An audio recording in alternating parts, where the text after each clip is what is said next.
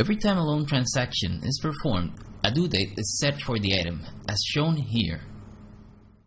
But how is the due date calculated? Every holding created is assigned to a group. This is where policies for circulation are derived from.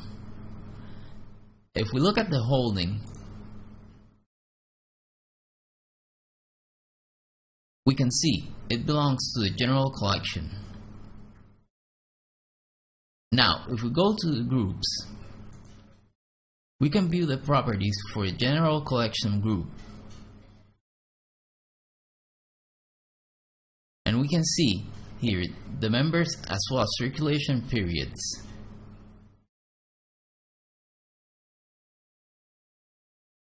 Here we can see the loan period for general collection is set to 14 days. This is the number the system uses to calculate the due date.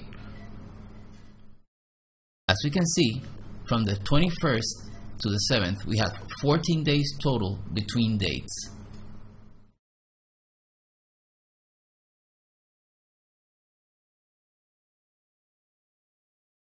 If you wish to adjust the due date for a particular loan in the transaction list, click on the due date.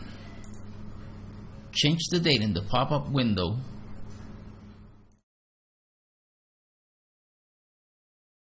Click OK. The new date is now shown. Global changes are not allowed to avoid any mistake for other due dates for the patron.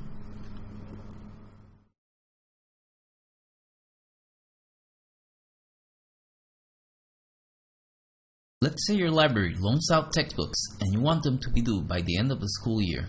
We can use session due date for this. Simply expand session due date, select the date,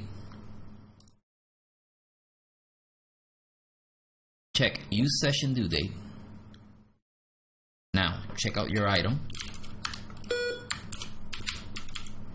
Loan. You'll notice the due date is the one that we just set.